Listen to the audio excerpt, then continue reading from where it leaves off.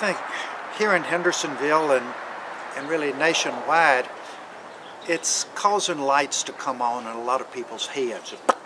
That uh, people are beginning to catch on that yes, the system is rigged, and the bulk of us are getting the shaft because of that. Um, obviously, there's a, a, wide range of motivations people involved in Occupy call it real focused, but there's a general malaise here. They understand something's wrong and we need to fix it. I don't know that we have a lot of specific solutions coming out of Occupy, but at least have we gotten people to thinking and not accepting the baloney that they've been fed so long.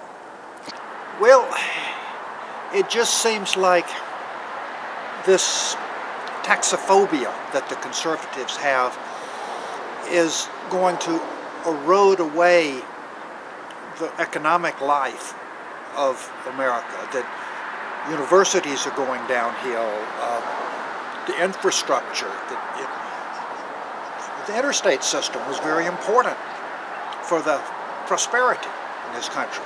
It's not being maintained. Um, you know, in all sorts of ways we're just not spending the